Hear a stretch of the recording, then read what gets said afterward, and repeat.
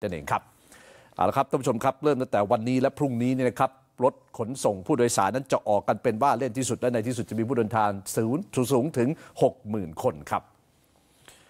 นายสัญลักษณ์ปัญญาวัฒนาริขิตนะครับกรรมการผู้จัดการของบริษัทขนส่งจำกัดหรือว่าบขสเนี่ยบอกว่าเอาเฉพาะเมื่อวานนี้มีประชาชนเดินทางในขาออกช่วงสงกราร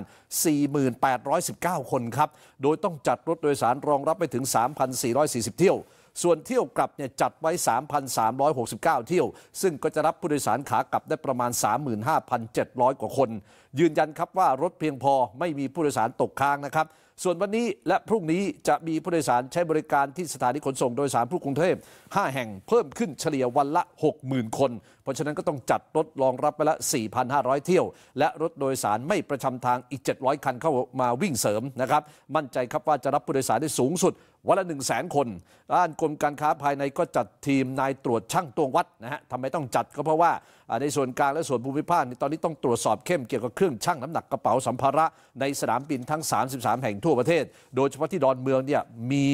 การตรวจทั้งหมด 200 เครื่อง ผลการตรวจพบว่านะฮะเครื่องชั่งน้ำหนักกระเป๋าทุกเครื่องมีความถูกต้องเที่ยงตรงครับ